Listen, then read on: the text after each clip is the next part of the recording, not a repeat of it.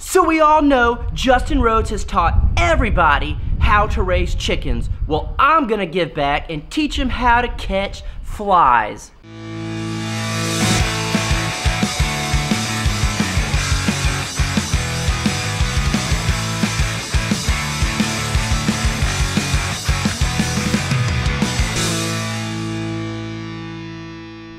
So we're gonna start this video out today and teaching Justin Rhodes how to catch flies. I got an email from a subscriber and they said, hey, did you see Justin Rhodes' video?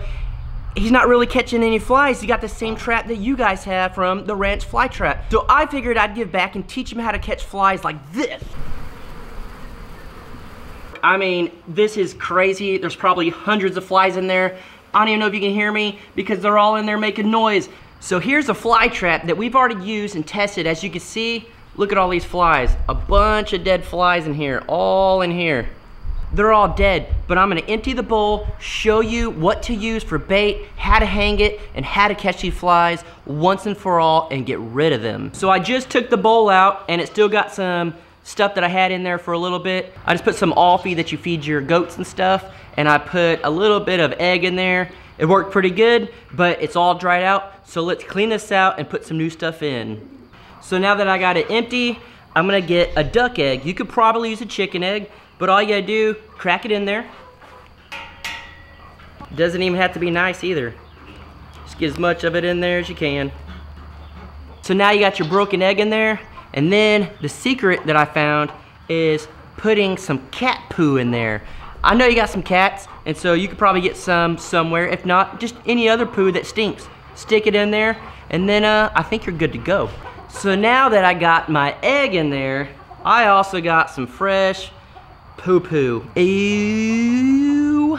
That is some cat poop, some chicken poop, some goat poop, all the good poop that I could find here in our barn, and I'm gonna now I'm gonna stick it back in the trap, show you how it goes, and I'm gonna go hang it. So it's real easy. All you gotta do is, it's got those rings on the bottom. Stick it between the uh, rings here. Just be careful you don't wanna spill it because uh, eggs and doo-doo on you wouldn't be good. Just let it kind of sit in that ring below and that's all there is to it. I'm gonna leave all these flies in there because I don't wanna empty them yet because that's free chicken food. So I'm gonna go hang this and show you that it works. So now that we have that trap going, I'm gonna put another one. So now that we got all our bait ready, I'm going to put it right over in the corner. We'll let it sit for a while. I got some other stuff to do, and then we'll come back and check on it and see how many flies we get.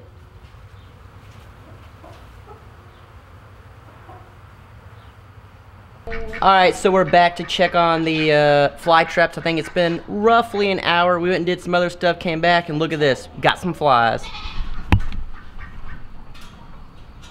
Got some flies in here. Of course, all these dead ones are from last time, but as you can tell, they are starting to collect in there. And just to prove that we're not lying, that's the trap from before that's still collecting them. The trap that's been here for about an hour. So I think it's safe to say these traps work. They're doing awesome. We'll check it again in the morning, but that'll be on another video. But guys, these traps are absolutely awesome. But I do know a lot of you are gonna ask, well, what do you do with all the flies? Do you just throw away the trap? What do you, you know, what do you do? I don't know. What we're gonna do is empty the flies out, feed them to our chickens and turkeys and all the ducks and stuff like that, and then reuse the traps over and over and over. As long as you don't tear the netting, it's gonna be fine. So let's go ahead and do that real quick and show you how easy it is to get free food for your animals plus reuse the traps. All right, so we're back to check the traps again, and look how many flies are in there. Even more than last time. This thing's doing awesome again.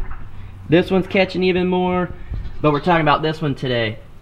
So I'm going to take the trap out there, I'm gonna kill the flies real quick, and then feed them to my animals and show you how to empty the trap and reuse it, so let's get on with that. So as you can see, we got all the flies. What I'm gonna do is take the bowl out, and then I'm going to go ahead and kill these flies.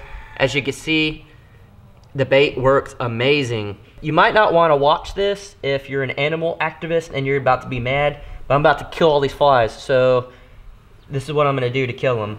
Just going to put it down and then uh, kind of just smash them, kill them. You're going to get some fly juice on you. Don't worry about that. So as you can see, they're all dead in here. There's some still alive. I'm not really worried about that. But as you can tell, a whole bunch of flies. So let's go empty that and let's feed the birds. So what you're gonna do is you're gonna undo this hook so it lays down and then all you can do is shake it and pour them out. Look at all those flies.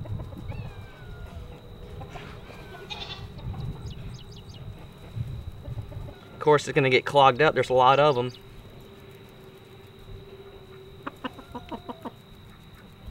So for the most part, that's all of them. So now we're gonna let the birds feast on it.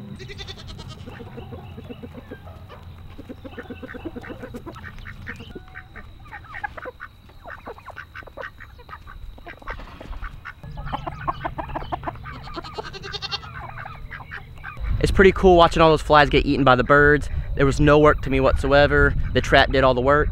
Free food, it's a win-win. So hopefully, Justin, this helped you out. And anyone else that has the ranch fly traps, some bait works better than others. Another thing that we did was we added some milk in it and let it get hot and nasty, and that helps. We tried that on another trap um, when we first got them. But whatever your bait is, it has to stink worse than the surroundings. So if it's goat poop, stick a little bit of goat poop in there. If it's pig poop, stick a little pig poop in there. But add some other stuff to make it stink just a little bit more than your surroundings. And then also, don't hang it too high. Hang it lower to the ground because that's where all the flags are going is to the poop and stuff on the ground. So lower the trap, get it closer. You know, even if you have to hang it right outside of the pig trap, um, you know, it'll still work. Do what you gotta do. Get it just outside of the pig's range, but where the flies go to that. So hopefully that helped. If you're interested in these traps, we'll leave a link down below. It's the Ranch Fly Traps. They're awesome. They work great for us. They're fairly cheap, and you can reuse them over and over and over. So it's just an amazing thing for us. Here in Texas, it gets hot. I mean, so hot, and the poop stinks, and we have flies like crazy. Even when we used to live in the city, the flies were just outrageous. So it's helped us a lot hopefully can help you. But now let's go on with the day. We got other stuff to do. So as a lot of you probably don't ever see, you don't see the outside of our fence here, but we own a little bit outside our fence. And uh, we're gonna set up the electric fence so the goats can start eating along the fence line, eating around these trees, and it's eating all this grass down. So let's get to that.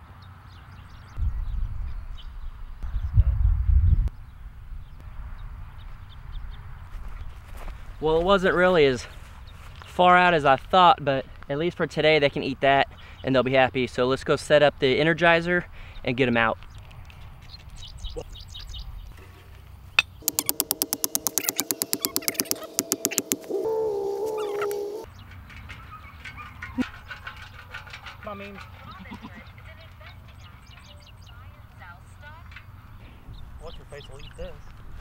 So we got them in and I think Mimi just touched the electric fence for the first time.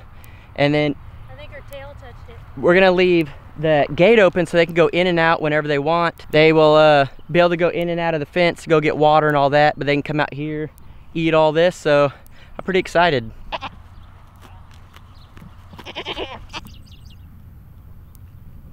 So it's pretty cool seeing them eating the grass and all that stuff out here. So it's doing its job. Let's go on and do some other stuff while they keep on eating. I don't think these plants right here we're gonna water too much because they don't have a way to drain water out. So what'd you guys think of my idea for a DIY shelf in the greenhouse for around $25? Can actually be a lot cheaper if you already have the cement blocks. Uh, we had some of these laying around in the back. All we need to do is just go pick up some lumber, but $25, you can't beat it. You saw Jaylena put it together in about five minutes. Got uh, sunflower seeds over here. You can already see that some of them are starting to sprout out. Basically soak them overnight, bring them out, spray them every morning. Over here, Jaylena has uh, different kinds of, I don't know what she has to be honest, but you can see right here there's something growing. I think there's lettuce and other sorts of stuff in there. I transplanted one of our okra plants in here. It was actually being covered up by one of our squash plants. So I put it in here, I'm gonna let it grow up. I haven't grown any inside of a pot yet, so we're gonna see if it grows better in a pot or in the ground. So I dug this one up out of the yard. I want your opinion. Do you think this is going to grow in here or do you think it's going to die since I transplanted it from the ground into the pot? I did cut around it. I don't think I cut any roots, but let us know if you think it's actually going to grow or if you think it's going to die. So as Jaylena was saying in her other video, the cilantro wasn't looking the best, so I cut it back, gave it a lot of water, and as you can see here, it's starting to green up quite a bit, so that's a good sign for us. So this greenhouse, it's not super heavy duty, so we had somebody say that we need to anchor it to the ground, so we put in some T-post, anchored it on here, got some wire, a couple of uh, zip ties holding it down on each side, so hopefully in the next storm it'll hold up like tough and won't blow away in the wind.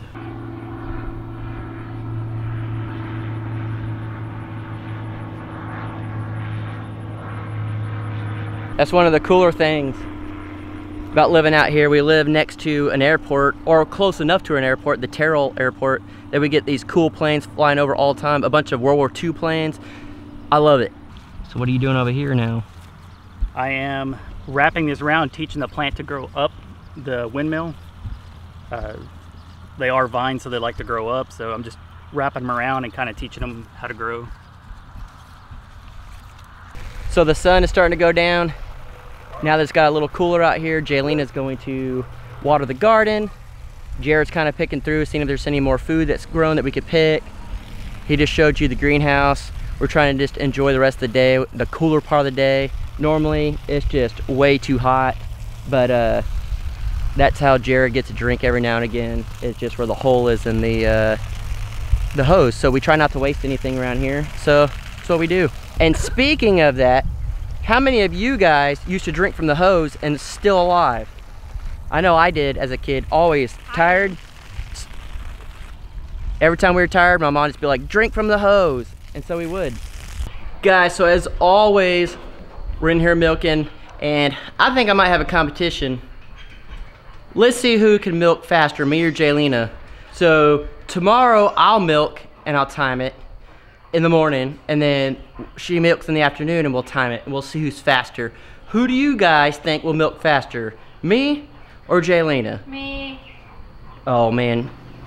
So let us know in the comment section what the loser should have to do. Whoever loses is a slower milker has, has to do what you guys want us to do to an extent.